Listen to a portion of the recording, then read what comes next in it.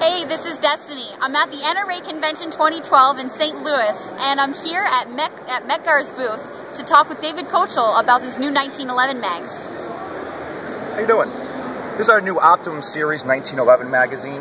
It's a carbon steel magazine, heat treated for strength, has a black oxide finish, and then on top of that is a PTFE Teflon anti-friction coating. PTFE anti-friction coating makes the magazine very easy to load and also offers about 220 hours of um, corrosion resistance in the military salt spray test. If you want to try loading that magazine up, you'll feel how smooth that is.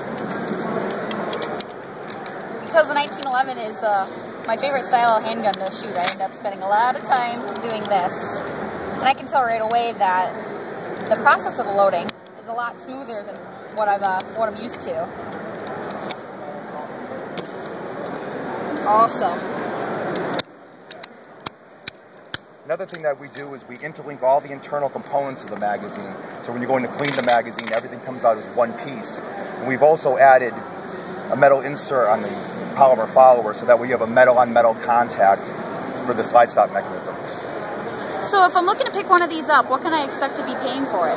The retail price on them are $28.75 and they're available through most of the major uh, firearm distributors. Cool. Well, thanks for your time and giving me that introduction. You're welcome. Thank you.